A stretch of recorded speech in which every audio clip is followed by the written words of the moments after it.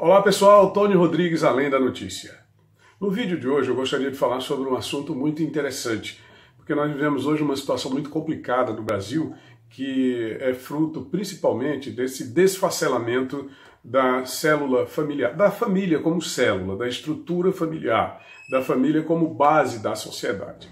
Eu estive no sábado dia 16 à noite, no casamento de uma, uma grande amiga, né? Socorro Delmiro, ela é funcionária aposentada do Banco do Brasil, com o José Carlos, que é médico, e eles dois já têm 12 anos de convivência em comum e vêm de casamentos anteriores. E resolveram agora oficializar essa união através do matrimônio civil. Uma cerimônia muito bonita, uma cerimônia realmente repleta de muita gente agradável. Encontrei por lá vários amigos, é, Dr. Edson Alves da Silva, o Genilson, que é fotógrafo e cinegrafista. É, muita gente veio até mim falar sobre é, a situação que o país está vivendo. Mas foi ali, naquela festa, naquele momento, que eu tive uma lição incomum sobre a questão do amor incondicional, do amor familiar. Ele, o José Carlos, é, na sua fala, é, logo após a cerimônia de casamento, ele fez um discurso. E e quando ele disse, olha, eu não vou aqui dizer te amo, porque o amor ele implica num sentimento incondicional de entrega total e absoluta. E ele próprio, que já fora casado antes, sabe que isso não é possível entre um homem e uma mulher, entre casais do mesmo sexo, não importa.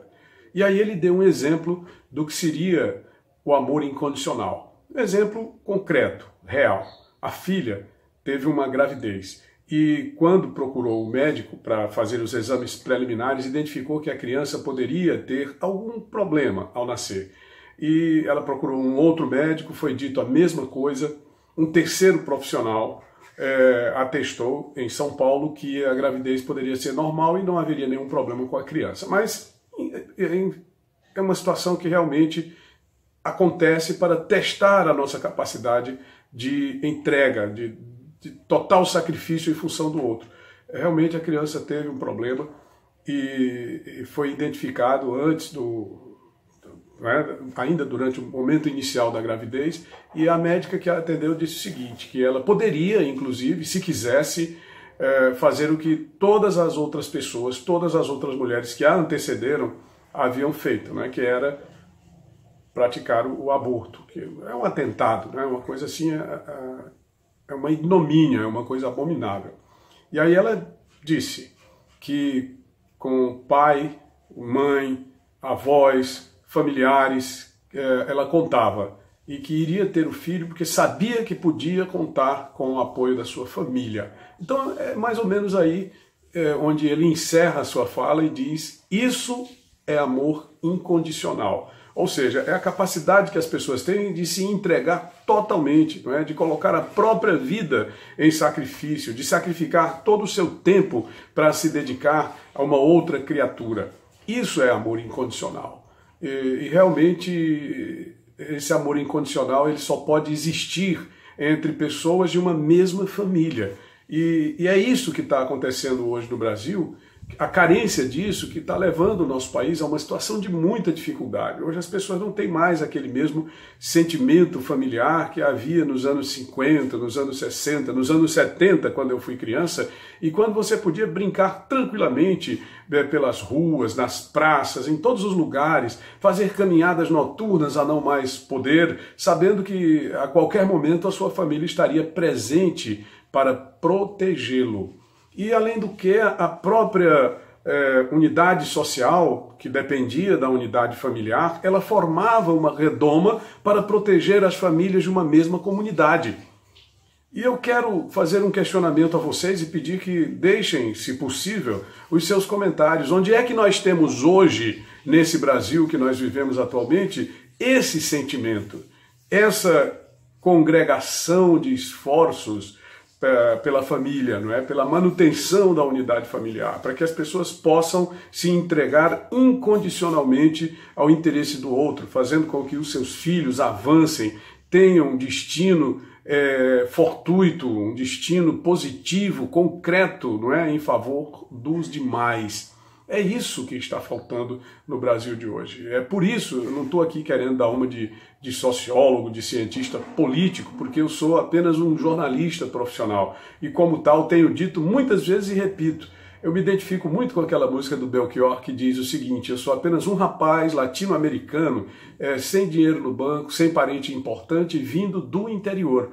Mas claro que, como jornalista ao longo de mais de 30 anos e uma vivência é, social também na política, não é? Como vereador que fui de uma cidade, a mais importante cidade da Grande Teresina, que é o município de Altos. Então a gente tem, claro, uma visão é, concreta de como esse esfacelamento da unidade familiar tem contribuído para prejudicar a, a, sociedade de um modo geral. Não é que as pessoas precisem ser casadas entre si, não é que as pessoas precisem oficializar o matrimônio. Bom seria se todos pudessem casar no civil, casar no padre, não é? Oficializar a sua relação marital. Mas mesmo que não seja, que as pessoas nem coabitam mais hoje, não é? nem convivem mais debaixo do mesmo teto.